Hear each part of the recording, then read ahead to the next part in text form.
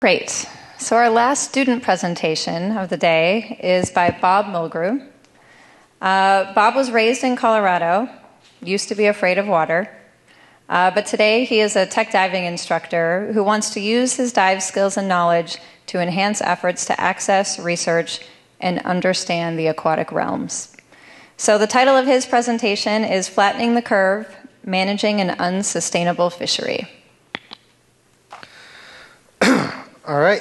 Thank you, Samantha. Good afternoon, everyone. I'd like to start by telling you the saga of Krusty Oldman. For the last decade, Krusty ran a thriving commercial fishing operation capitalizing on an underutilized fish species. For demand, demand for his product was growing rapidly among markets and restaurants. His target species seemed inexhaustible, and he could fetch top dollar for his catch. Krusty upgraded his boat, hired a few employees, and bought a new truck. Unfortunately, in the last couple years, population densities have been declining. It's become more and more difficult to land sizable catches to the point that it is no longer economically feasible for Krusty to operate. He had to lay off his employees, sell his boat, his dog left him, and he now lives in his truck. Now, some might say this is a typical case of overfishing and unregulated stock. That's the price fishermen pay for not taking a sustainable approach in managing the fishery to maintain future harvest. But what if that is the entire purpose of this fishery? To overfish the target species with the end goal of extirpation.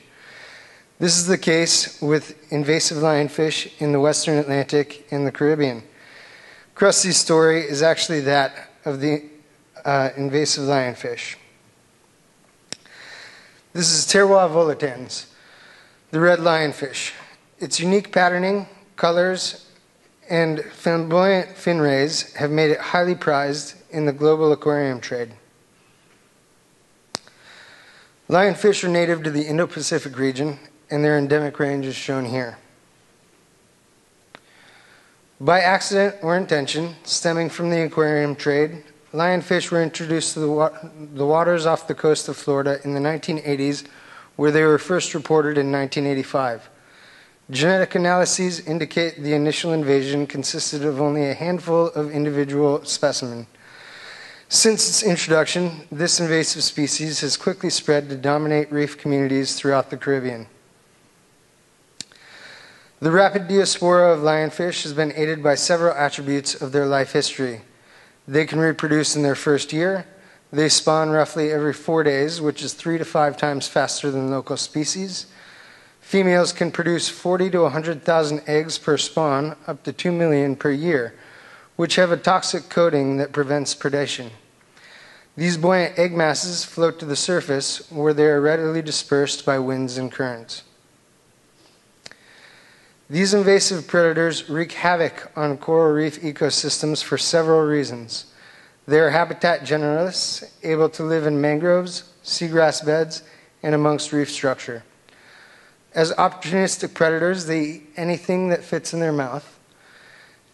Naive local prey do not recognize them as predators, and naive local predators do not recognize them as prey. Lionfish have been shown to re- reduce small reef fish populations by up to 80%. Their impact poses significant ecological and economic consequences for coastal communities that rely on healthy coral reef ecosystems. The goal of my project was to find out what strategies can best be implemented to pursue lionfish mitigation by capitalizing on this unexpected resource to create viable conservation opportunities for coastal communities that depend on healthy reef ecosystems for sustenance and economic well being. By using ArcGIS, I integrated the information I gathered into a story map that details the threats lionfish pose, the difficulties in managing this invasive species, and the strategies that may provide economic solutions for continued lionfish mitigation efforts throughout the afflicted region. To conduct my research, I did not drive a Mazda, but I did spend a lot of time zoom zooming with people in various countries throughout the Caribbean that have been involved with the lionfish issue, including NGOs, wholesale fishmongers, fishermen, restaurateurs, divers, and scientists. What I found was that initial efforts to build a lionfish fishery using campaigns like Eat 'em to Beat 'em were very successful. Demand for lionfish grew, increasing the selling price and allowing commercial ventures to flourish. I was told in Bonaire, a fisherman can sell lionfish for almost $18 per pound, making it easily the most expensive fish at market. But most places, the price ranges from 4 to $6 per pound. Whole Foods even started carrying lionfish in certain locations, further increasing its popularity and demand. Recent declines in population densities, however, make it harder to find and catch lionfish, reducing the catch per unit effort and resulting in decreased landings. This graph is not exactly precise, however, it is based on population studies from the northern Gulf of Mexico, where an ulcerative skin disease was discovered in lionfish, and surveys between 2016 and 2018 indicated population densities declined by as much as 79%. Fisheries dependent data also indicated commercial landings and catch per unit effort declined by up to 80 up to 50%. This general trend has been confirmed by every single person that I talked to throughout the Caribbean. It's great news for the reefs, but for commercial fishermen like Krusty, it's less than ideal. Another drawback is that the primary way to hunt lionfish is by diving with a spear and containment vessel, which has earned them the moniker of trash pickers from traditional fishermen. So it's important to be stylish when trash picking. And yes, I am the good looking one in this photo.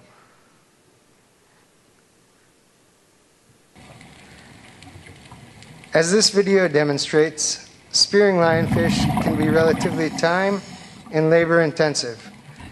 Many fishermen told me, why would you go to the effort of spearing 24 lionfish at $5 a pop when you can catch a 30 pound grouper in one shot that gets you the same $120? Therefore, currently demand far outweighs the supply. Now, simple economic theory tells us that reduced supply and constant demand will increase the product price. This is the De Beers model for diamonds and theoretically, it should be great incentive for fishermen like Krusty. However, this is not the case. Almost every wholesaler I talk to has stopped carrying lionfish except by request.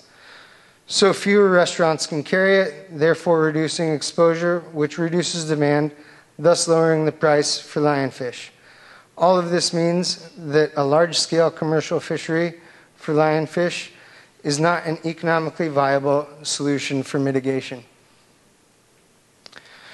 You might be asking if populations are declining, then the battle is won. Why worry? Well, it's similar to the concern over a second wave of coronavirus. There are large populations of lionfish that live up to 300 meters depth, well beyond regular safe diving limits. When they spawn, these buoyant egg masses replenish populations on shallow reefs, and without constant efforts, populations will rebound. So then, how do we keep populations low? Jewelry made from the fins and spines, which are usually discarded, can increase the value of landed lionfish by up to 61%, encouraging continued lionfish culling and providing occupations for women in areas where the fishing industry is typically male dominated. Jewelry is also an excellent conservation, conversation piece that opens the door to raise awareness about lionfish. Another excellent way to raise awareness is lionfish derbies. These tournaments attract sponsors, divers, families, and restaurateurs.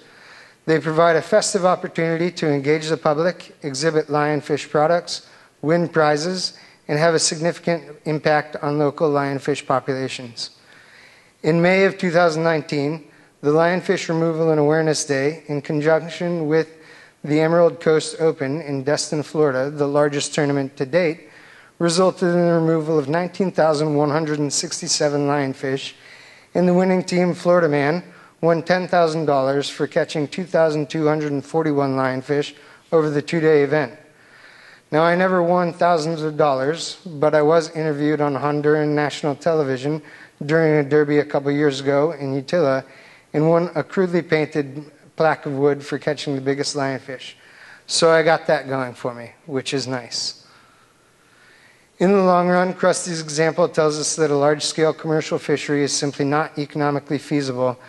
From all accounts, it seems that small, small scale artisanal and subsistence fisheries will be the most effective and cost efficient method of lionfish mitigation on a broad spatial scale. Think of it like this instead of having one massive commercial farmer, there can be thousands of backyard gardeners that can harvest for themselves or take their produce to local farmers markets. Coupled with engaging the multitudes of recreational divers that visit the Caribbean to participate in lionfish culling activities, this would serve to keep constant pressure on populations and protect coral reef ecosystems on which so many coastal communities depend. The story map that I created has been designed to make this information more easily accessible to help NGOs and other organizations raise awareness of the invasive lionfish issue, to encourage public engagement, and to inform people how they can get involved in mitigation efforts. For now, it will be available at lionfishcentral.org, which is an NGO that works to raise awareness, educate, and enhance collaboration amongst those involved in mitigation efforts. You can access it through that link or by using the QR code. Lionfish are the new normal, so it will be necessary to use strategies that provide economic incentives to control their populations and combat this environmental scourge. I'd like to thank my advisors, Stuart Sandin, Heidi Batchelor, and Scott Ganello, as well as all of the people that took the time to Zoom Zoom with me, my friends, my cohort, and especially my mom, all of whom have been unbelievably supportive. Thank you.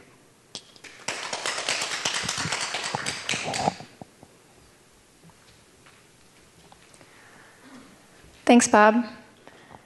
Uh, so we have a question uh, from the web. It says, I heard lionfish are poisonous. Do they require special preparation to make them edible? So that is one thing that uh, is a common misconception. Lionfish are absolutely not poisonous. They do indeed have venomous spines that require some careful handling. And if you get stung, it is quite painful. I got stung a couple of times in December. Um, but if you remove the spines, they're completely safe to eat, and the meat is a nice, light, white, flaky meat that is quite delicious and perfect in pretty much any fish dish.